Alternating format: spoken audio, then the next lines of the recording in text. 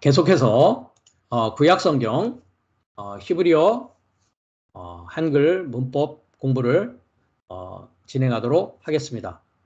어, 지난 시간까지 우리가 어, 지시법을 보았는데요. 어, 여러분들께서 화면에 보시듯이 어, 지시법은 어, 영어로 저시브라고 하고요. 어, 파신기호는 어, 첫 번째 어, 이니셜 어, J를 따서 어, J라고 표현을 합니다. 이 지시법도 어, 명령형의 일종인데 어, 우리가 잠깐 어, 동사 명령법을 어, 봤을 때 보면 어, 동사 명령, 명령법이라고 하고 있는 파신교 M은 2인칭 동사에만 사용되었고요. 그 다음에 연장형 또는 청원법이라고 하는 어, 이 간접명령의 형태로 나타나는 것은 어, 1인칭으로 어, 우리가 어, 청원법을 어, 공부를 했습니다. 그 다음에 이제 마지막으로 우리가 지시법을 현재 보고 있는 중인데 어, 지시형 동사는 어, 간접 명령을 표현할 때 사용한다라고 했습니다. 그러니까 2인칭 명령을 제외한 1인칭 청원법, 3인칭 지시법은 어, 간접 명령에 해당합니다. 그래서 어, 3인칭 형태로 나타나고요. 어, 우리가 문맥에 따라서는 그가 이것을 해도 된다. 그가 이것을 하게 해주렴과 같이 어, 허용, 권유, 희망으로 이렇게 어, 문장에 따라서 문맥에 따라서 우리가 번역할 수 있다라고 했습니다. 어, 그리고 우리가 창세기 24장 어, 51절을 통해서 현재 어, 지시법의 이해를 어, 살펴보는 어, 두 번째 시간을 현재 갖고 있습니다. 어, 이 어, 창세기 24장 51절을 우리가 공부하면서 어, 제 블로그에도 어, 이미 어, 올려놨습니다만은 보라라는 부분입니다. 이 보라라고 했습니다. 그래서 이제 어, 우리가 문장을 보면 히브리어는 어, 여러분들이 이미 알다시피 어, 오른쪽에서 왼쪽으로 어, 우리가 읽고 해석을 합니다. 그래서 보라라고 한 이 부분이죠. 그래서 했네라고 했습니다. 했네. 보라. 지금 지난 시간에 우리가 이 보라를 가지고 어, 이야기한 내용이 어, 여러분들이 화면에 보시듯이 어, 두 가지 형태로 어, 보라라고 어, 해석할 수 있다라고 했습니다. 어, 화면에 보시, 보시 듯이 2,900인 900번 이제 어, 했네라는 것 어, 현재 우리 이제 어, 창세기 24장 51절의 본문이 되겠습니다. 그래서 무언가를 보는 것인데 계속해서 한 방향을 향하여서 그래서 어, 지난 시간에 방향사 해에 대해서 어, 전미사로 쓰여지고 있는 해를 우리가 어, 말씀을 드렸습니다. 그래서 했네라는 것과 hen이라는 두 개의 단어가 동시에 어, 보라라고 어, 우리가 해석되어지면서 어, 문장 안에서 쓰여지고 있는데 아, 그 차이점을 우리가 현재 살펴보는 중에 있습니다. 그래서 헨네는 계속해서 무언가를 무언가를 바라보는 것이다. 그래서 여기에 무엇이 있는지 어, 살펴보는 중이다. 진행을 의미하는 것으로 장소나 사건의 주의를 끌기 위해서 사용된다라고 했습니다. 그 다음에 이제 2500번인 hen. 그래서 이것은 이제 어, hen과 hen내는 서로 간에 어, 해가 있느냐 없느냐로 어, 우리가 어, 구분을 하고, 하였고 해가 붙어 있을 때는 진행을 나타내지만 hen이라는 보라라는 것은 방향사가 없습니다. 그렇죠? 여기에 보시다시피 그래서 방향을 향하여 보는 상태가 아니고 원하는 위치나 그 결과를 보라라는 의미다라고 하는 것이 우리가 지난 시간까지 어, 이 헨네와 헨을 가지고서 제가 아, 말씀드렸던 내용입니다. 그래서 살펴보는 중 진행을 보라라는 것이냐 아니면 결과를 보라라는 것이냐라는 차이점을 우리가 문장 하나하나를 살펴보면서 어, 그것에 대한 것을 어, 읽어내어지고 그 다음에 그 말하는 자의 의도와 말하는 자의 생각과 말하는 자의 뜻을 우리가 잘이 아, 단어의 차이점을 통해서 살펴볼 때에 우리가 성경을 더욱더 어, 구체적으로 올바로 이해할 수 있다라는 것입니다. 그래서 어, 오늘 시간에는 헨네로 쓰여 있는 구절과 히네라고 어, 히네로 쓰여 있는 구절과 그 다음에 헨으로 쓰여 있는 구절을 우리가 두 구절을 어, 각각 보면서 어, 그 차이점을 다시 한번 어, 지금 어, 여기에 설명한 것을 적용하는 어, 그 시간을 우리가 어, 갖도록 하겠습니다.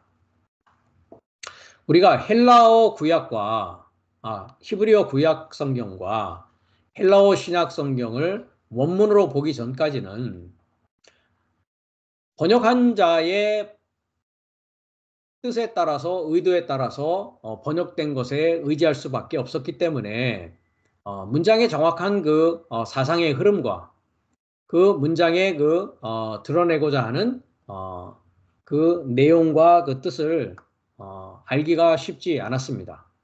금방 어, 언급했듯이 보라라는 것도 역시 헨, 흰내와 헨이라는 두 단어가 다르다라는 것을 이해하고 있지 않는 상황에서는 어, 우리가 원문을 보아도 그렇지만 어, 원문 전에 번역 성경에 의지하고 보는 상황 가운데 있어서는 어, 더더군다나 그 차이점을 인식하고 싶어도 어, 인식하지 없, 는 인식할 수 없었다라는 것이죠. 네. 그래서 공부하는 자의 입장에 있어서는 하나님의 말씀 하나 하나가 어, 하나님을 나타내는 것이기 때문에 어, 우리가 어, 하나도 소홀함이 없이 어, 철두철미하게 하나하나 어, 따지면서 어, 그것을 이해하기 위한 노력을 어, 멈추지 말아야 된다라는 것을 어, 다시 한번 이 시간을 통해서 여러분들에게 강조해드리고 싶습니다.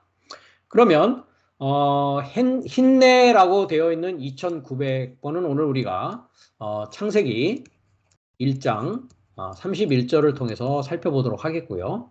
그 다음에 2500번인 헨이라는 부분은 우리가 창세기 3장 22절을 어, 통해서 어, 살펴보는 시간을 어, 갖도록 하겠습니다. 그렇다면 먼저 창세기 1장 31절을 우리가 가보겠습니다. 31절은 1장의 맨 마지막 절입니다. 1장의 맨 마지막 절인데요. 여섯째 날의 내용을 이야기하면서 이제 여섯째 날의 결론을 말씀하는 부분입니다. 어, 한글 성경을 먼저 보시면은 화면에 보시듯이 하나님이 그 지으신 모든 것을 보시니 보시기에 심히 좋았더라. 저녁이 되며 아침이 되니 이는 여섯째 날이니라 라고 했습니다. 여기 보면 이제 보시기에 라는 부분입니다. 어, 여러분 보시다시피 어, C라고 하고 있는 것은 이 첫 번째고요. 네, 그리고 영어에서는 이제 그리고라고 분명히 어, 되어져 있죠. 어, 여기서도 어, 그리고 했습니다. 그 다음에 이제 어, 여기에 הנה가 들어가 있습니다. 네. 그것을 이제 한글에서는 보시기에라고 해버려 했고요. 네. 어, 킹 제임스 성경에서는 and behold 했고요. 그 다음에 이제 뉴 킹 제임스 성경에서는 그냥 indeed 참으로라고 했습니다. 네. 참으로 어, 기본적으로 어, 희내라고 하는 것은 뭐라고요? 보라라는 것이죠. 보라. Q라는 것은 이제 어, 상대방에게 환기시켜주기 위해서 어, 이렇게 어, 말하는 것인데 어, 우리가 이제 불변사라고 이제 이야기를 합니다. 품사적으로는 불변사라고 하는데요. 어, 보라라는 것이다. 보라, 보라. 보라라는 말은 이해하라, 깨달아라. 라는 뜻을 이야기해 주고 있습니다. 네. 그렇다면 여기에 이제 본다라는 것은 우리가 이미 공부했듯이 라라는 것은 뭡니까? 보고 조사하는 것입니다. 그렇죠? 네. 그가 보기 시작한다. 여기서 그는 예호바라고 했습니다. 무엇을 보기 시작합니까? 엘로힘이라고 하는 목적어였습니다. 네. 엘로힘은 하나님이 아니라고 했습니다. 네. 여러분들이 이미 어, 제 유튜브를 통해서 계속 이것을 공부해 오신 분은 무슨 말인지 충분히 지금쯤 이해하시리라고 보십니다. 하나님의 일입니다. 그러니까 그렇죠? 네. 전능자를 소망하는 사역이다 했습니다. 엘 그 다음에 해, 임, 엘로힘 했습니다. 그러니까 하나님께서 무엇을 조사하고 계십니까? 전능자를 소망하는 사역, 즉 전능자가 되기 위한 그 일의 모든 것을 지금 조사하고 보고 있다라는 것이죠. 역시 미완료로 보고 계십니다. at call 했습니다. 여기도 영어는 해석하지 않았고 한글도 해석하지 않았습니다. 네. 모든 것입니다. 모든 것의 시작과 모든 것의 끝, 결론 그것이 뭐라고요? 엘로힘이라는 것이었습니다. 전능자를 소망하는 사역의 시작과 끝의 모든 전체입니다. 그런데 그 모든 것이 무엇이냐 했더니 어, 관계대명사를 쓰면서 에세르 아사라고 합니다. 아사. 그가 지으셨다 했고요. 아사라는 것은 행하다, 만들다라는 뜻입니다. 그러니까 만들다를 써서 이제 지었다라고 하는 것이죠. 네. 그런데 뭡니까? 완료한 것입니다. 그러니까 지금까지 창세기 1장 1절부터 지금 32절까지 아사 행하시고 만든 완료한 것의 전체를 지금 조사하고 계시다라는 것이죠. 그러면 무엇을 행하고 무엇을 만들으셨느냐? 우리가 이 아사라는 단어를 보면 어, 굉장히 중요한 그 부분 중에 하나인데요. 이사야서 45장을 가보면 어, 아사에 대한 정의가 나와 있습니다. 7절을 보시면 나는 빛도 짓고 어둠도 창조하며 나는 평안도 짓고 환란도 창조한다 라고 했습니다. 짓는다 라고 했는데요. 여기 보면 야짜르라는 것입니다. 야짜르. 영어는 폼이라고 되어 있죠. 네, 우리가 사전을 잠깐 보시면 네, 짓는다라는 것이 뭡니까? 압착하여 형체가 되게 함으로 어떤 형태로 주저하다. 여러분들이 제가 사전을 열어놓을 때 밑을 한글 한국 분들은 이제 한글을 보셔야 됩니다. 네. 압착하여 형체가 되게 함으로 어떤 형태로 주저하다. 특히 토기장이와 같이 상징적으로 결정하다, 결심하다, 흙으로 만든 어, 형성하다, 모양을 만들다 이랬습니다. 한마디로 뭐 하는 것입니까? 형체가 되게 하는 것입니다. 그러니까 토기장이가 토기를 가지고 어떤 모양을 만드는 것이죠. 그럼 모양을 만든다라고 했을 때 칼동사 분사를 쓰고 있습니다. 네, 칼동사라는 것은 단순형 능동태 분사입니다. 그러니까 I form 하면 안 되겠죠. forming 해야 됩니다. forming. F-O-R-M-I-N-G. forming. 분사니까요. 무엇을 형성한다고요? 빛을 형성한단 말이죠. 그러니까 빛을 가지고 뭐 하는 겁니까? 토기장이가 예호바 하나님께서 빛을 가지고 계속 뭐 한다고요? 형성해 나가고 형체가 되게 한다라는 것이죠. 그 다음에 어둠. 어둠은 뭐 하느냐? 역시 마찬가지입니다. 칼동사 분사입니다. 어둠은 창조하는 것입니다. 그래서 어 제가 창조라는 단어가 빠라라고 했는데 이것은 우리가 세상적으로 알고 있는 무에서 유를 만들고 창조해내는 것을 히브리 성경에서 빠라라는 단어는 그렇게 얘기하고 있지 않다라고 했습니다. 그래서 여기도 보시다시피 창조하다라는 게 뭐라고요? 나무로 찍어내다, 선택하다, 먹이다 그런 것입니다. 그래서 창조라는 것은 찍어내고 선택하고 먹이어서 배부르게 뚱뚱하게 하고 명백하게 하는 데까지 이루어전, 이루어지는 그 단어가 빠라라고 했습니다. 창조하다라는 뜻이라고 했습니다. 즉 어둠을 창조한다라는 건 무엇입니까? 어둠을 찍어내고 어둠에서 선택해서 어둠을 먹여서 뭐 되게 만드는 것입니까? 빛되게 만드는 과정이 뭐다? 창조하는 과정이다. 그것이 어둠을 창조한다라고 하는 것입니다. 그러니까 빛으로 빚어야 어두움을 창조하게 되는 것이죠. 그렇죠? 네. 그 다음에 아사 샬롬 했습니다. 아사. 금방 말하듯이 행하다 만들다입니다. 그렇죠? 행하다 만들다.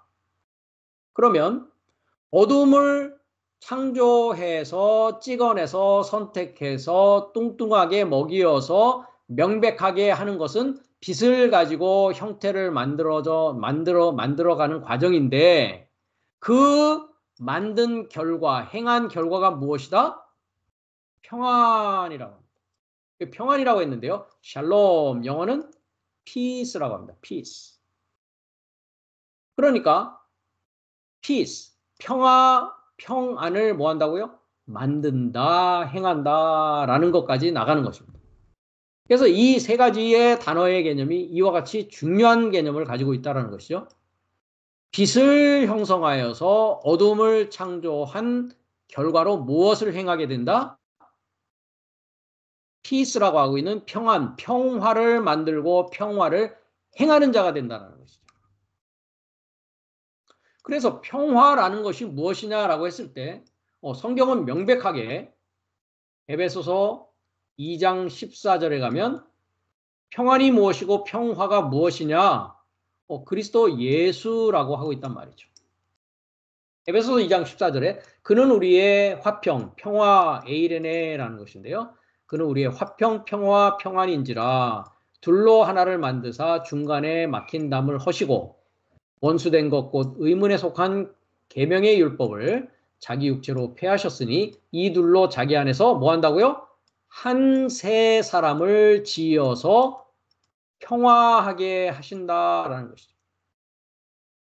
에나 카이논 안드로폰 한 세 사람입니다. 하나의 새로운 사람이라는 것이죠. 이게 누굽니까? 새 하늘과 새 땅이요. 거룩한 성 새 예루살렘이요. 그리스도 예수와 신부되어진 내가 완전히 연합되어진 하나의 새로운 사람이라는 것이죠. 이것이 새로운 창조물이요. 새로운 사람인 것입니다. 그러기 위해서는 뭐가 필요하다?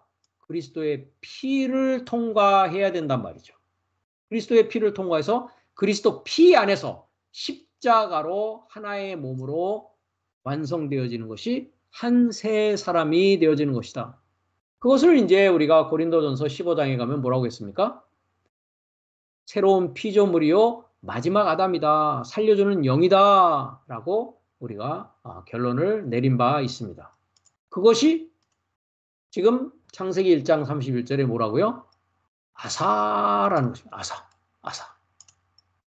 행했다라는 것이죠. 뭘 행한다고요? 빛으로 형성해서 어둠을 창조함으로써 뭘 하게 된다고요? 아사를 완료한다는 것이죠.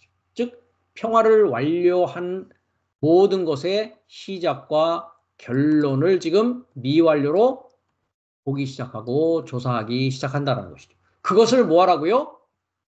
힘내습니다. 그것을 계속 뭐하라고요? 방향사 해가 있기 때문에 계속 살펴보고 진행해 나가는 것이죠. 이해하고 깨달아 나가라는 것이죠. 한 방향을 향해서 그것을 직시하라는 것이죠. 그러니까 뭐 하더라고요? 포브 메오 됐습니다. 메오드라는 것은 부사죠. 심이 좋은 것이다. 계속 살펴보고 그것이 무엇인지를 진행해 나가는 그것이 뭐라고요? 힘이 좋은 것이란 말이죠. 그 아사를 완료한 모든 전체의 시작과 끝. 그래서 우리가 힘이 좋다라는 것은 어, 여섯째, 일곱째 날까지 우리가 살펴봤을 때 여섯째 날에만이 힘이 좋다라고 어, 예호바께서 말씀하시는 것을 우리가 볼 수 있습니다. 그래서 모든 시작과 끝의 전체를 뭐 하라고요? 계속해서 살펴보고 진행하고 있는 상황을 보라라는 것입니다.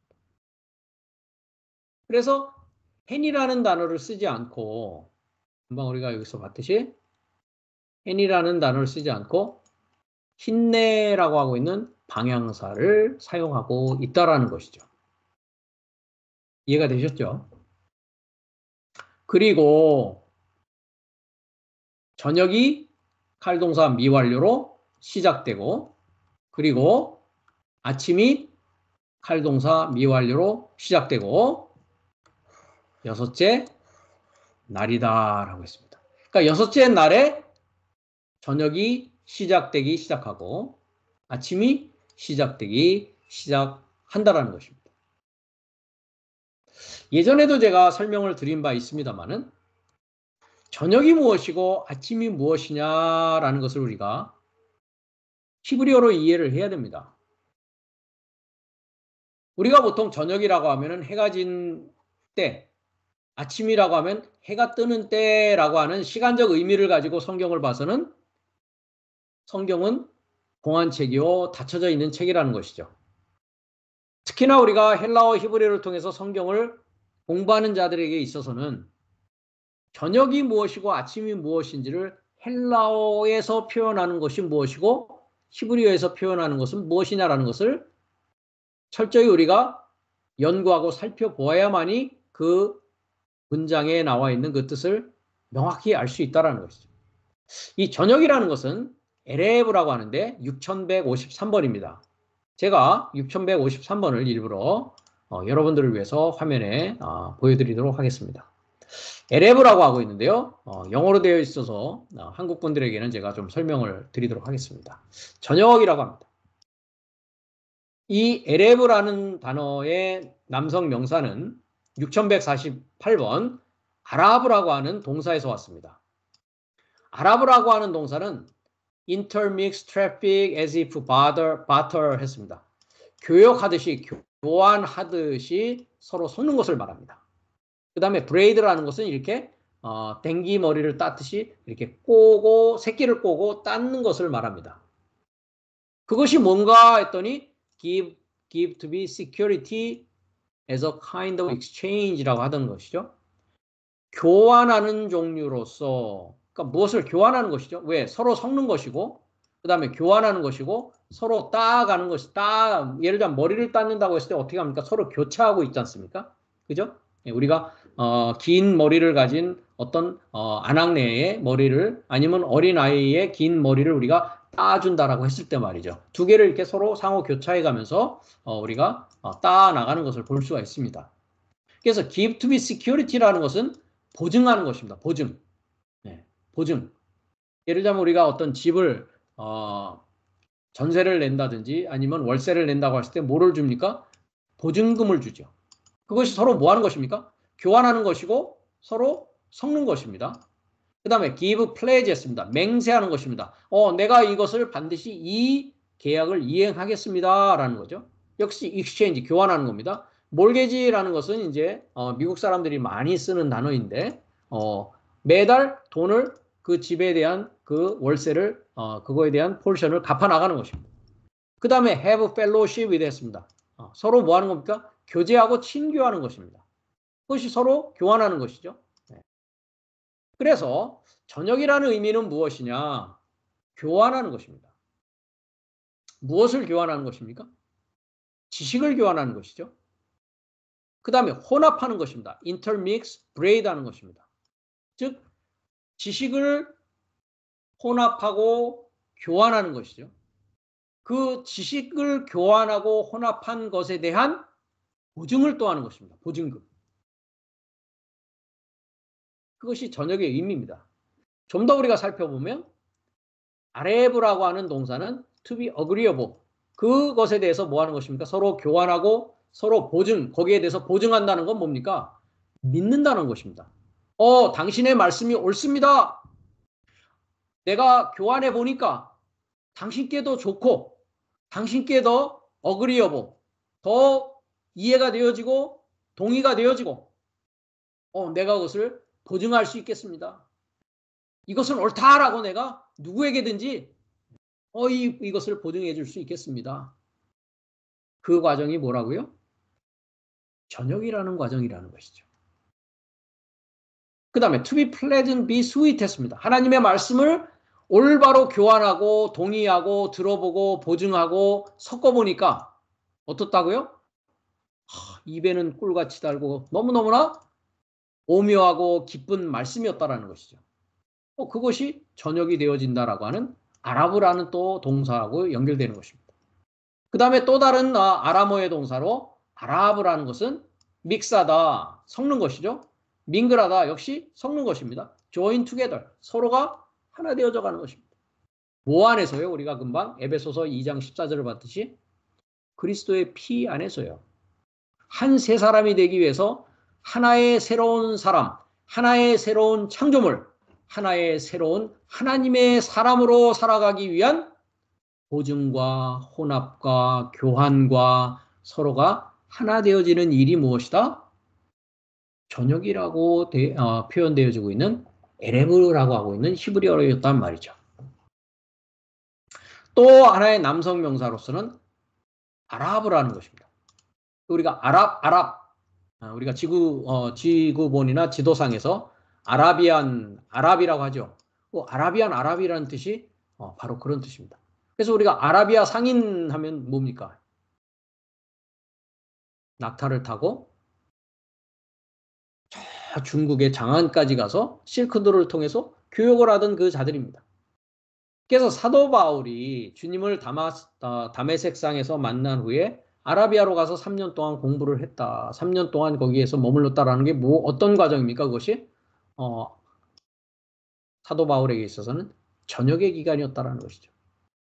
보증하고 혼합하고 교환하고 말씀에 대한 동의와 말씀에 대한 기쁨과 말씀에 대한 그 스윗한 달고 오묘한 그 말씀을 교환하는 과정이었더라는 것입니다.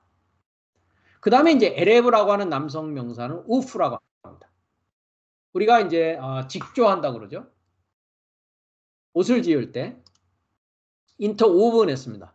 날줄과 시줄을 시줄이 서로 어떻게 됩니까? 교환되어져서 어, 하나의 이제 옷감이 만들어지는 것을 여러분이 알 수 있습니다. 그래서 직조하는 과정에 우프 여기서 어, 날줄이다, 시줄이다 이렇게 표현되어져 있고요. 그러니까 뭡니까? 그리스도로 옷을 만드는 과정이 뭡니까? 저녁이라는 과정이란 말이죠.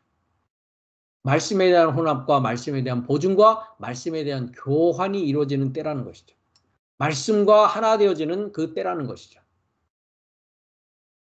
그 다음에 이제 willow라는 단어가 있고요. sweet pleasant이라고 있고요. swarm이라고 하고요. 이 swarm이라는 것은 이제 어, 곤충들의 그 mixture 해갖고 swarm합니다. 벌떼, 뭐 새떼, 뭐 이러고 이러 우리가 얘기하죠. 인섹트니까 이제 벌떼, 뭐 이런 이런 식으로 그 때를 말하는 것입니다. 그 다음에 이제 레이번 했습니다. 오레브라고 있는데 이것은 까마귀입니다. 까마귀. 까마귀가 우리가 노아 때를 보면 어떻습니까? 물이 날을 알기 위해서 까마귀를 내보내는 것을 아, 우리가 볼 수 있었죠. 네. 그 내보내는데 접촉점을 찾지 못해서 다시 돌아왔습니다. 그렇죠? 네. 그러니까 계속 왔다 갔다 돌아오는 것이 뭐 하는 겁니까? 어, 교환하는 과정이요. 어, 전역을 통과하는 과정이라는 것이죠. 역시 오레브라는 것이 어, 마찬가지입니다. 그 다음에 이제 아라바 했습니다. 여기도 데저트입니다. 네, 사막이요. 아라바라고 하는 사막을 어, 지명을 얘기하고 있고요. 그 다음에 아루바니까 플레지, 토큰, 반 됐습니다. 그러니까 역시 보증을 하는 것이고 어, 맹세하는 것입니다. 그 다음에 아라본 했습니다. 역시 맹세하고 보증하는 것이다. 그래서 어떤 약속을 어, 서로 교환하는 것이다. 약속을 주어서 그 다음에 마라브 해갖고 멀천다이즈 했습니다. 즉 어떤 어, 상품을 교역하고 서로 어, 교환하는 네, 그런 과정이라는 것이죠. 그래서 저녁이 되기 시작한다라고 했습니다. 저녁이 되기 시작한다. 그래서 한 날부터 이 여섯째 날까지 계속 뭐가 나옵니까? 저녁이 되기 시작하고 아침이 되기 시작하는데 그것이 한 날이요, 둘째 날이요, 셋째 날이요 이렇게 계속 진행이 되는 것입니다. 그런데 일곱째 날에는 일곱째 날 아침이 되고 저녁이 되는 과정이 없습니다. 왜 그렇습니까? 날이 되어졌고 낮이 되어졌기 때문입니다. 데이가 되어졌고 라이시 되어졌다. 빛이 되어지고 낮이 되어졌으니까 더 이상 아침 저녁이 필요합니까? 필요하지 않습니까? 어, 필요하지 않습니다. 완전히 이해한 상황 가운데 완전히 한 세 사람이 지어졌으니까 저녁이 더 이상 필요 없는 상황이요. 이제 아침이 그렇다면 무엇이냐라는 것을 우리가 한번 보도록 하겠습니다. 아침이라는 것은 보케르라고 하는 히브리어 단어인데요. 1242번입니다. 이 단어 역시 제가 어, 준비를 어, 화면에 해놨습니다. 그래서 בקר라는 것은 morning 아침이라고 이제 번역을 했는데요. 이 בקר라는 단어는 동사 בקר라는 동사에서 옵니다. to plow 했습니다. plow라는 것은 쟁기를 가지고 땅을 뭐 하는 것입니까? 어, 땅을 이렇게 솟구는 것입니다. break forth. 그러니까 단단한 땅을 어떻게 하는 겁니까? 부드럽게 만들려면 어, 흙을 이렇게 어, 어, 부셔야 되겠죠. 그렇죠? 그 과정이 뭐냐 했더니 어, 조사하는 과정이랍니다. 그 과정이 뭐냐 했더니 찾는 과정이랍니다. 그 과정이 뭐냐 했더니 물어보는 과정이라고 합니다. 그래서 숫소가 쟁기를 가지고 욕하는 것이다. 멍해를 메고 일하는 것이다. 라고 되어 있습니다. 그래서 우리가 아, 마태복음 11장에 가면 주님께서 수고하고 무거운 짐진 자들아 다 내게로 오라. 나의 멍해를 메고 어, 나에게서 배우라. 나의 짐은 가볍다라고 말씀하시는 것을 우리가 볼 수 있습니다. 그래서 어, breaking open of the ground with 어, 어, plow pulled by oxen 했습니다. 어, 숫소가 끄는 쟁기와 함께 어, 땅을 열어서 브레이킹 시키는 것이다. 파쇄해서 파쇄해서 뭐 하는 것입니까? 인스펙 조사하고 찾고 거기에 대해서 문의하는 것이다 라는 것이죠. 그러니까 말씀을 배우고 말씀을 어, 교환하게 되면 그것을 이제 뭐 하는 시간이라고요? 어, 그것을 쟁기질하는 일이 언제 일어난다? 아침이라는 거란 말이죠. 그래서 우리가 한국에서 어, 학교에서 그런 그 시 속에도 있습니다. 그렇죠? 네. 소치는 아이는 상기하니 잃었느냐. 네. 저너머 살해 김밭을 언제 갈려 하나니. 여러분 아마 어, 학교에서 이 어, 시를 배우신 분들 아마 기억나실 겁니다. 그러니까 자기 땅을 내 땅을 가는 것입니다. 나의 마음밭을 쟁기질해서 부드럽게 만들어야 뭐가 되는 것입니까? 길가밭이 안 되고 돌짝밭이 안 되고 가시덤불이 안 되고 이제 좋은 땅이 되어서 신 하나님의 말씀이 내 마음밭에 떨어져서 이제 뭐 하게 되는 것입니까? 100배, 60배, 30배의 하나님의 선한 열매를 맺는 일이 일곱째 날에 시작되어진다라는 것이죠. 그래서 아침은 이와 같이 쟁기질하고 땅을 고르고 조사하고 찾고 문의하는 때라는 것이죠. 그 다음에 남성 명사로서 보케를 하는 것은 뭡니까? 농부입니다. 캐럴 텐더라고 했습니다. 즉 어, 소를 모는 어, 소를 몰고 어, 소를 어, 먹이고 소와 함께 일하는 농부를 말하고 있습니다. 그 다음에 이제 베카르라고 하고 있는 아람어는 역시 inquire, make search였습니다. 위에 나와 있는 어, 동사하고 같은 동, 동사입니다. 문의하고 찾는 것입니다. 구하는 것입니다. 찾아내는 것입니다. 그 다음에 남성 명사로 또 바카르는 캐를 헐드 했습니다. 즉 어, 쟁기질을 하기 위해서 땅을 어, 파고 땅을 어, 고르기 위해서 어, 사용하는 그 어, 캐럴 소들을 어, 가축 으로서의 소를 어, 바카르라고 합니다. 그 다음에 이제 어, 바카라 여성 명사인데요. 역시 looking after seeking 했습니다. 역시 어, 찾아보는 것입니다. 성경 66권의 모든 부분들을 다 뭐 한다고요? 이곳저곳 다니면서 다 그거 교환한 그 지식을 가지고서 살펴보고 찾아보고 문의하고 조사하는 것입니다. be correct 해서 examination 역시 뭡니까? examination 네. 시험하고 살펴보고 또 벌을 내리고 하는 것입니다. 네. 나의 부족한 점을 뭐 한다고요? 어, 벌 주고 내가 계속 조사하고 거기에 대해서 찾는 것입니다. 그래야 그 다음 날로 넘어가죠. 그게 한 날에서 둘째 날로 넘어가는 것이죠. 둘째 날에서 셋째 날로, 셋째 날에서 넷째 날로, 넷째 날에서 다섯째 날로, 다섯째 날에서 여섯째 날로 넘어간 결과가 무엇이다? 힘이 좋은 결과를 갖고 있단 말이죠. 그래서 이날만 매우 좋다라고 하는 거죠. 매우 좋다. 네. 뭐가요? 한 날부터 여섯째 날까지의 시작과 완성의 아사, 아사 샬롬, 그 그리스도의 하나님의 지혜와 하나님의 능력이 만들어진 그 전체의 것을 조사해 보니까 그것이 하나님의 일이었는데 했네 그 과정을 전체 살펴보고 진행해 보니까 어떻다고요? 심히 좋다라고 어, 예호바께서 이야기하고 있다는 것입니다. 그래서 교환하고 보증하는 것이 읽기 시작하고 칼동사 미완료입니다. 그 다음에 경작하고 살펴보고 조사하는 것이 잊기 시작하는 것이 여섯째 날이다 라고 창세기 1장 31절을 이야기하고 있습니다. 그러면 여섯째 날이라는 것은 무엇이냐? 우리가 시제를 공부했습니다. 과거가 뭐가 되는 것이라고요? 현재가 되는 것이다. 그 다음에 미래가 뭐가 되는 것이라고요? 현재가 되는 것이다. 그렇다면 여섯째 날이라는 건 무엇이냐? 현재라고 하는 것은 일곱째 날인데, 그죠? 일곱째 날인데, 일곱째 날인데, 과거와 미래, 즉 뒤와 앞을 연결해서 현재로 나아가게 한 연결 시점이 언제다? 그것을 여섯째 날이라고 하는 거죠.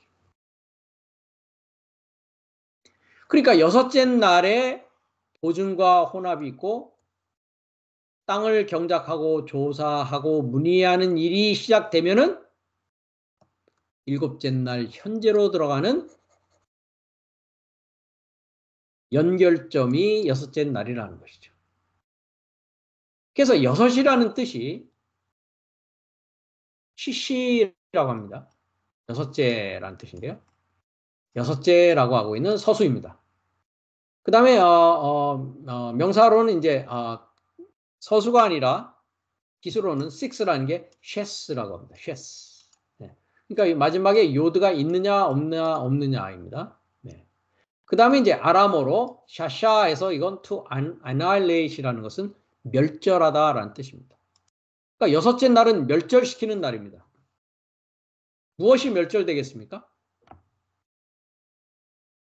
지금까지의 모든 어두움이 이제 멸절되어지고 무엇으로 일곱째 날에 이제 들어간다고요?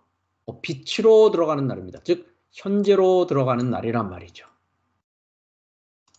그리고 우리가 요한계시록 13장에 가면 짐승의 수, 짐승 같은 사람의 수를 보라 하면서 666을 이야기하고 있습니다. 그 다음에 이제 14장, 계시록 14장으로 들어가면 144천 어린 양을 따르는 자들을 144천이라고 한단 말이죠. 그럼 거기에 나오는 666, 6의 의미가 뭡니까? annihilation입니다.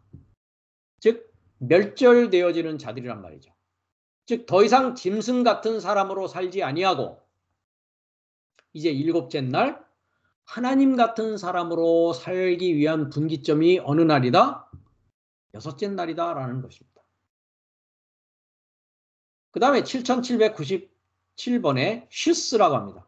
to be bright, rejoice라고 합니다.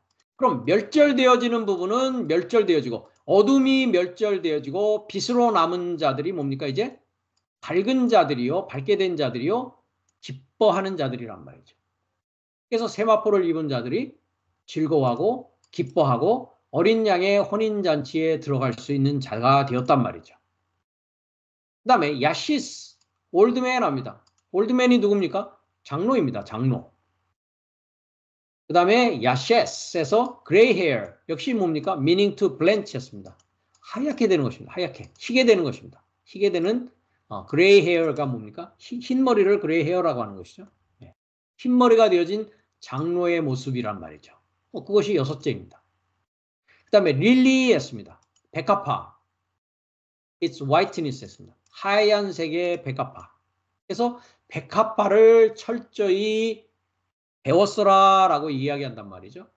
예, 우리가 마태복음 6장에 아, 카타 만따로 이렇게 되어 있었습니다. 근데 한글은 철저히 배웠어라 아니라 생각하라 아마 이렇게 되어 있을 겁니다. 예, 릴리라는 것은 역시 여섯째 날이 아침이 되어지고 저녁이 되어지고 아침이 되어지는 그 모습이 릴리의 모습으로 표현되고 있는 것이죠. 그 다음에 샤스라는 것이 역시 블리치, 화이튼, 희게 되는 것을 말합니다. 희게 된 대리석. 그 다음에 셰스 역시 어, 표백되어진 것이요. 와일리넨에서 세마포입니다. 하얀 세마포, 깨끗하게 된 세마포입니다. 즉 잿물이 다 빠져서 멸절되어지고 기쁜 기쁘고 하나님의 지식만으로 입어진 그 자가 누구시냐? 어, 장로가 되어진 자요 여섯째라는 것입니다. 그 다음에 환영이요 기쁨이요라고 했고요. 그 다음에 이것이 복수가 되어지면 시심해가지고 어, 60이라는 뜻이고요. 그 다음에 쉐트라는 것은 아람어로 여섯이고요. 그 다음에 어, 시트틴 하면 역시 아람어로 60이라는 뜻입니다.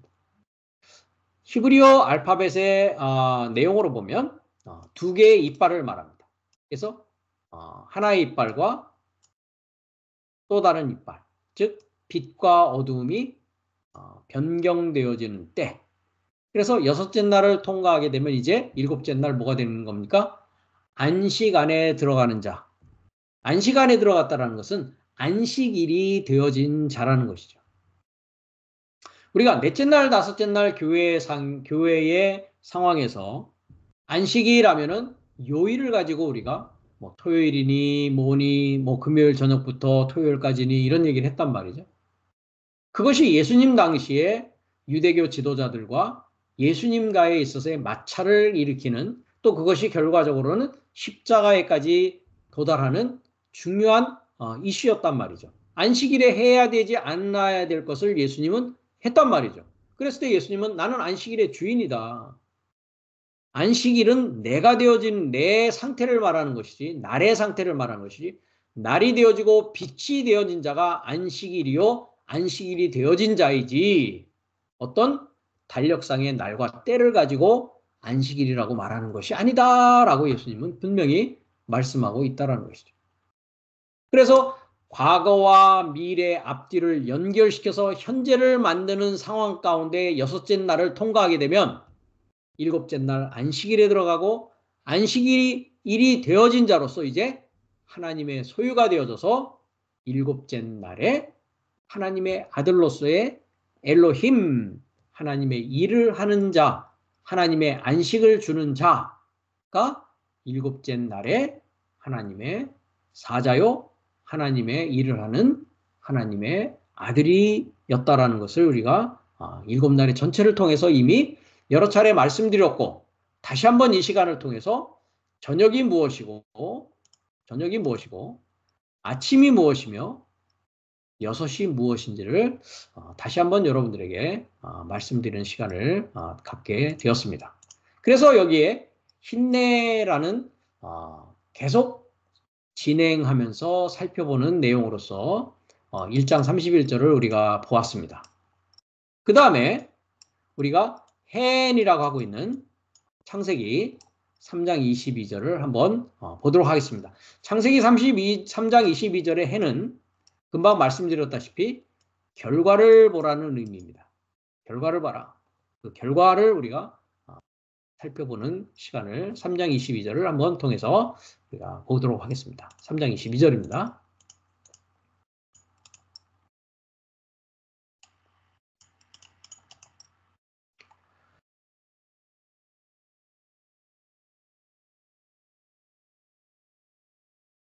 17절부터 아, 잠깐 22절까지 아, 우리가 보도록 하겠습니다. 아담에게 이르시되 네가 내 아내의 말을 듣고 내가 너더러 먹지 말라 한 나무 실과를 먹었은즉 땅은 너로 인하여 저주를 받고 너는 종신토록 수고하여야 그 소산을 먹으리라. 아 사, 실 어, 이거 가지고서도 몇 시간을 우리가 공부를 해야 됩니다. 사실. 예, 앞으로 여러분들이 문법이 끝나면 앞으로 이제 창세기 원강 과정이 있는데 어, 우리 Stauros Bible Academy를 통해서 어, 공부할 수 있는 어, 기회를 가지리라 생각합니다. 여기 땅이 되어 있는데 이 땅이 ארץ라는 땅이 아닙니다. האדמה라는 땅입니다. 그 האדמה가 지금 저주를 받았다라고 하고 있습니다. 그 האדמה는 어디에 존재하느냐? 동산 안에 존재하는 האדמה 땅입니다. 네, 그것도 역시 아담을 왜 동산 안에 두었는지의 그 내용과 더불어서 우리가 어, 정말 깊게 공부해야 될 내용 중의 하나입니다. 땅이 내게 가시덤불과 엉겅퀴를 낼 것이라 너의 먹을 것은 밭, 밭의 채소인즉 했습니다. 이 채소도 우리가 창세기 1장을 가면 어, 씨 있는 채소가 있고 씨 없는 채소가 있습니다. 씨는 역시 하나님의 말씀이죠. 네가 얼굴에 땀이 흘러야 식물을 먹고 필경은 흙으로 돌아가리니 여기 흙도 역시 아담아입니다.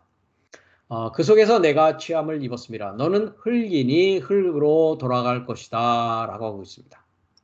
자, 여기서 흙, 흙이라는 단어도 여러분들이 보시면 다 다릅니다. 아다마라는 것도 흙으로 번역을 했고요. 그 다음에 아파르라는 것도 역시 흙으로 번역을 했습니다.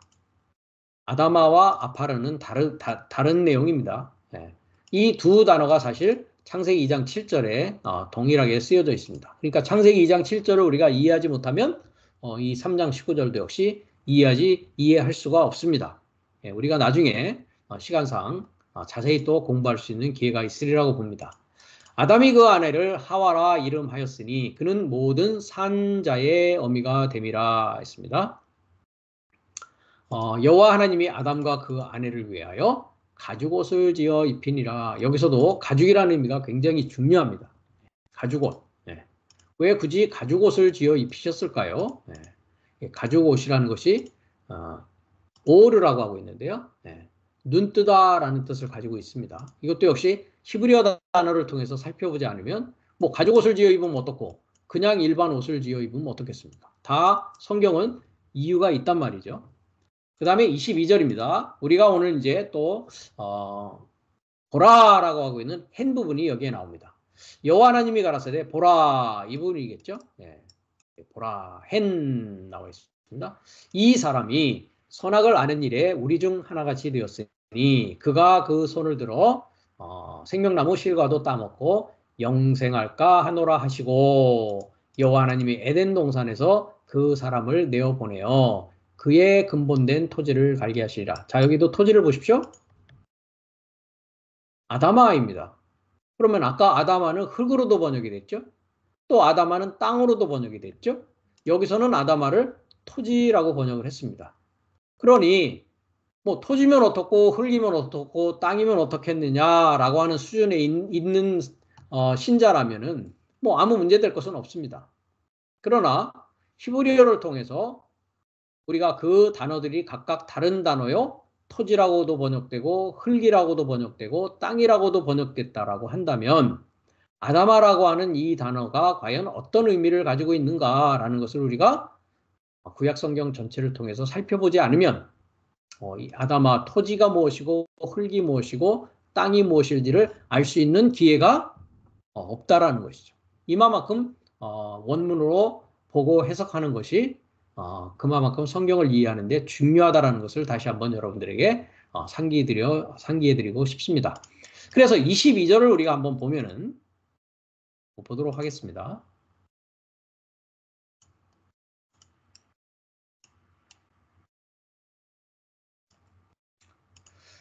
자, hen 했습니다. 네. 즉 결과죠. 과정이 아니라 이제 진행이 아니라 결과를 보라는 것입니다. 결과.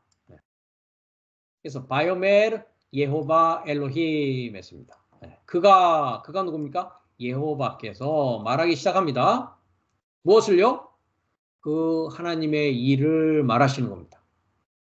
전능자를 소망하는 사역을 예호바가 말하기 시작한다. 보라. 그 결과를 이제 보라는 것이죠.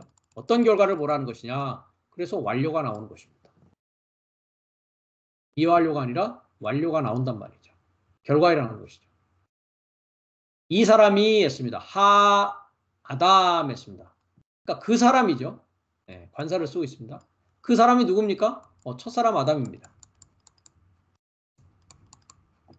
첫사람 아담이 누구입니까? 성령 역사 6천년 전에 그 사람입니까? 아닙니다. 모든 인간은 첫사람 아담에 속해 있습니다.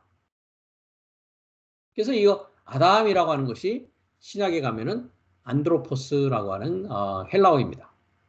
그럼 아담이라는 뜻은 무엇이냐? 아담 아담. 우리가 히브리어 의미로 보면은 알파벳의 의미로 보면 담이라는 것은 이건 물입니다. 물은 곧 말씀이라고 했습니다. 달렛이라는 것은 문입니다. 문. 문이라는 것은 길러내다라는 동사입니다. 알렙이라는 것은 본성입니다. 나의 강한 본성입니다. 숫소 같은 강한 숫소의 본성을 말합니다. 그러니까 뭡니까? 나의 강한 본성이 내가 나의 강한 본성인 내가, 수소인 내가 말씀을 길러내는 자, 이 자를 뭐라고 한다고요? 아담. 아담을 뭐라고 한다고요? 사람이라고 하는 것이죠. 안드로포스, 헬라어에. 그러니까 하나님의 말씀인 진리를 나의 강한 본성으로 길러내고 있는 자를 사람이라고 합니다. 그러면 성경에는 아담만 나옵니까? 우리가 특히 창세기를 봤을 때 아닙니다. 새도 나오고 동물도 나옵니다. 다양한 동물들도 나옵니다. 특히 뱀도 나옵니다. 그렇죠? 여기에서는. 그럼 나는 뱀이냐? 나는 육축이냐? 나는 새냐? 나는 물고기냐? 나는 아담이냐 라는 문제라는 것이죠.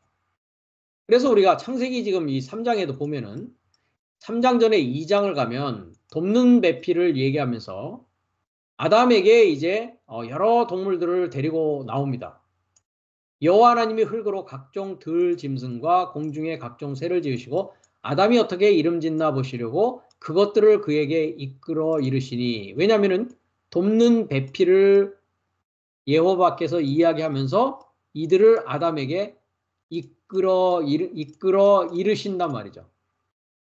아담이 각생물 일컫는 바가 곧 그 이름이다라고 했습니다.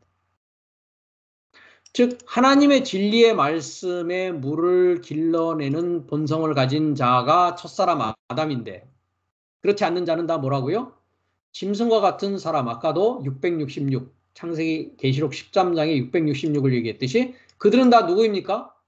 들짐승이요 공중의 각종 새들이었다란 말이죠. 이것이 우리 자연계의 그런 것을 이야기하는 것이 아닙니다. 성경은 성경은 영적인 책이다. 나에 관한 것이다라고 했습니다. 내가 들짐승이냐? 내가 공중의 각종 새와 같은 자냐? 아니면 나는 아담이냐라는 문제란 말이죠. 이 나는 여기서도 아담이냐? 아니면 여자이냐? 다 뭐에 관한 것이다고요? 나에 관한 것이다. 그래서 최근에 제가 올린 그 어, 유튜브 채널을 여러분들이 보셨을 텐데 나는 알파와 오메가다. 그게 나입니다. 나라는 것이죠. 나의 시작과 나의 완성을 성경은 이야기하고 있다는 것입니다. 여러분은 어떤 나를 지금 나라고 생각하고 있고 어떤 나를 향해서 가고 있는가 하는 것을 여러분들이 어, 생각해 보실 수 있는 시간을 가졌으면 좋겠습니다. 그것을 아담이라고 합니다. 그러니까 인생의 목적, 내가 누구인가, 하나님은 무엇인가?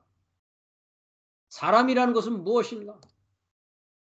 이런 것을 생각하고 묵상하고 진리를 상고하고 진리를 길어내고자 하는 본성을 갖고 있는 자가 아니라면 그 자는 이미 사람이 아닙니다. 그래서. 그래서 짐승 같은 사람이라고 하는 것입니다. 그래서 보라 그 아담 완료되었단 말이죠. 그 아담이 완료됐다. 아담은 아담으로 완료되어서는 안 됩니다. 그렇죠? 우리가 창세기 2장 7절을 아까도 얘기했습니다만은 창세기 2장 7절에 아담은 아담으로 머물러서는 안 됩니다. 여기 2장 이제 7절을 가시면 그래서 거기에 את라는 게 들어 있습니다. את. 그 아담의 시작과 그 아담의 끝입니다. 완성입니다. 즉 뭡니까? 첫사람 아담에서 마지막 아담까지 뭐 했다고요? 야짜르라는 동사를 쓰고 있습니다. 아까 우리가 이사에서 45장을 보셨죠. 야짜르 뭐라고요? 야짜르 오를 했습니다. 빛을 형성시키는 것입니다. 그럼 첫사람 아담에서 마지막 아담의 전 과정은 무엇의 통과의 과정입니까? 빛의 통과입니다. 빛이라는 것이 무엇입니까? 고린도서 4장에 가니까 하나님의 지식의 통과였더라는 것이죠. 즉 그리스도의 통과였더라는 것이죠. 하나님의 형사. 그것이 첫사람 아담에서 마지막 아담까지 토기장이가 야짜르에서 우리가 사전을 통해서 봤지만 압착하여 형체가 되게 하므로 어떤 형태로 주조하고 토기장이와 같이 결정하고 흙으로 만들고 빛으로 어, 빚고 형성하고 모양을 만들어가는 과정이었더라라고 했습니다. 그 아담의 전체입니다. 그런데 여기서 창세기 3장 22절에 이 아담은 이미 어떻게 됐다고요? 완료된 아담으로 존재했다는 것이죠. 어떤 완료된 아담입니까? 하나같이 했습니다. 우리 중 하나와 같이 했는데 민맨누 했습니다. 전에 제가 모든 동산 나무의 것들은 다 먹어야 된다라고 하는 것에서 민맨누를 설명한 적이 있었습니다. 민맨누, 민맨누가 뭐였습니까? 누 하면 나의 사역입니다. 여기 1인칭 복수입니다. 이게. 맨 하면은 나의 사역의 분기시라고 했습니다. 미라고 하는 것은 뭐뭐로부터 나오다라고 하는 전치사입니다. 나의 사역의 분기세에서 나온 하나같이 그 아담이 존재하였다라고 하고 있습니다.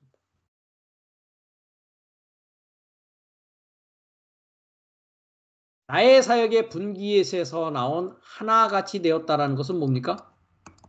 한날의 존재가 되었다. 한날의 존재가 되었다. 한날의 존재로 완료되었다. 어떻게 돼야 되는데요? 둘째 날, 셋째 날, 넷째 날, 다섯째 날, 여섯째 날, 일곱째 날의 존재로 완성돼야 되는데 한 날의 존재로 완성된 상태로 있단 말이죠.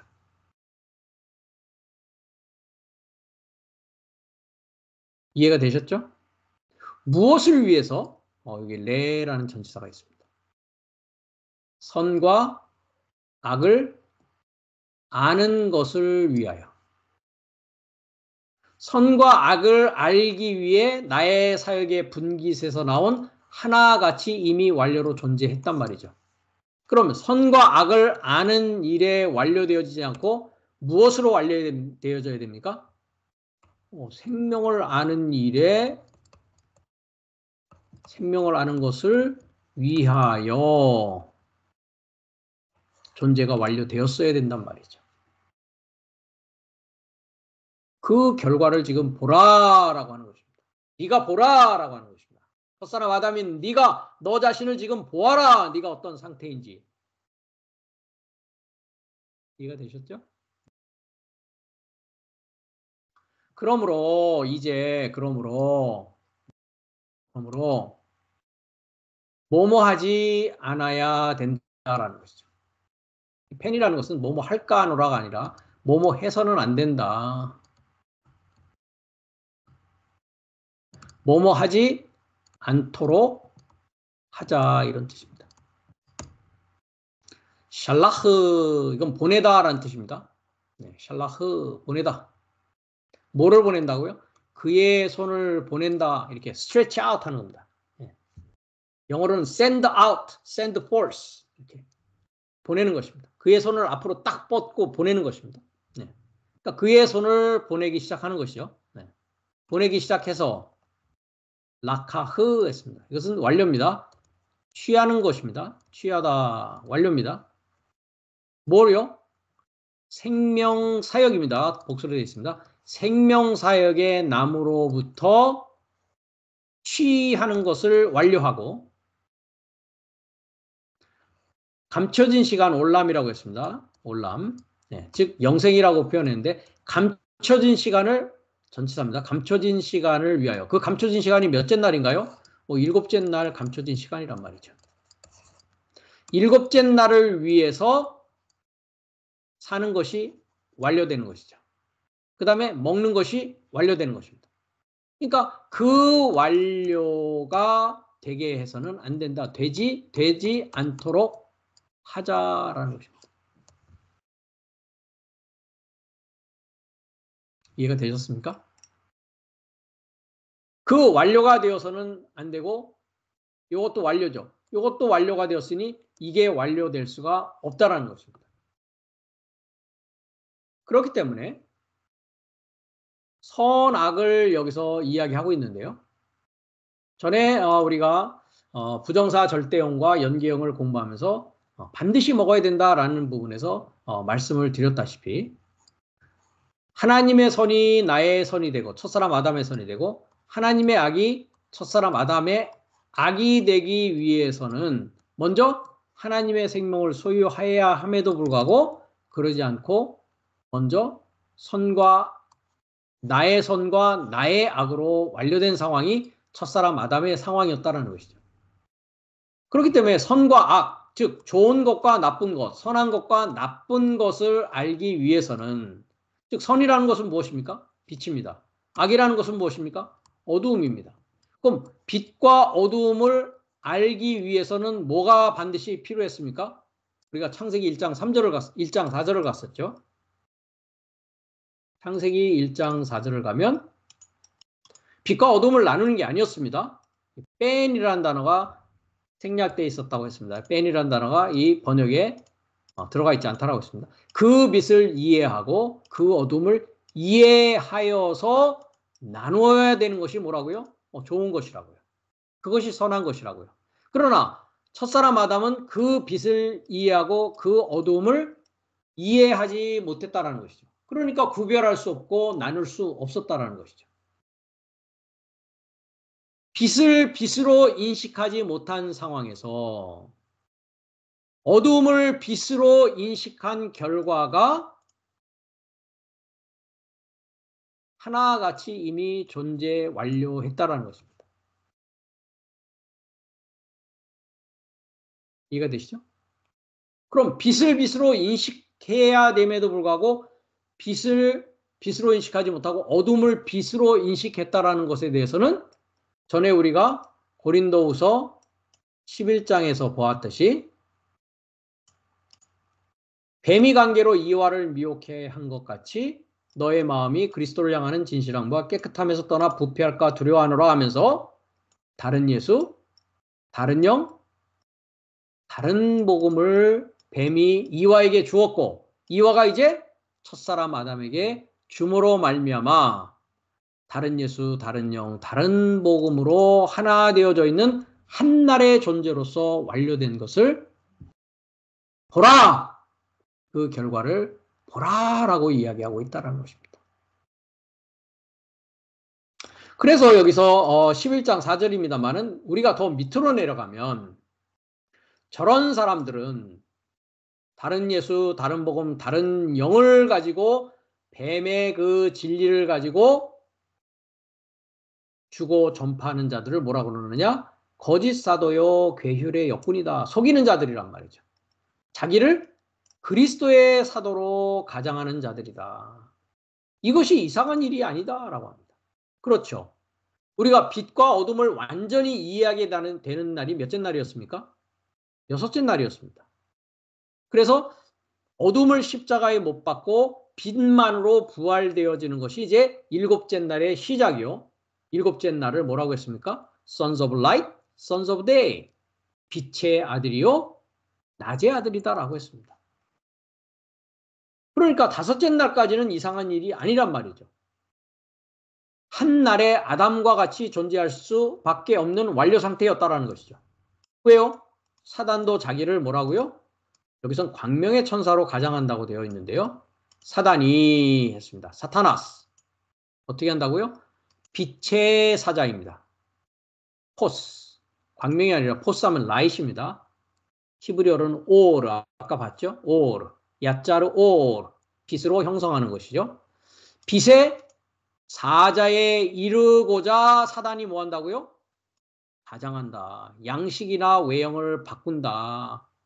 μετασχηματίζω 합니다. μετά μετά 결합하는 것입니다. σχηματίζω 모양. 그러니까 양식이나 외형을 바꾸고 꾸미고 가장하는 것입니다. 빛의 사자가 아닙니다.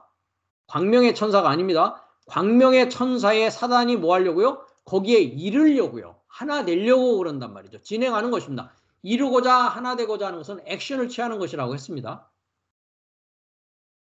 사단은 결코 광명의 천사가 될 수 없습니다. 빛의 사자가 될 수 없습니다. 빛의 사자에 이르려고 지금 뭐 한다고요? 하나 되려고 이르려고 애를 쓰면서 지금 가장하고 있다고요. 그것을 뭐하라?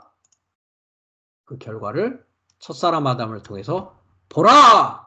라고 여호와께서 말씀하고 있다라는 것입니다. 다음 시간에는 리브카가 너의 면전에 있으니 라는 부분을 우리가 살펴보도록 하겠습니다.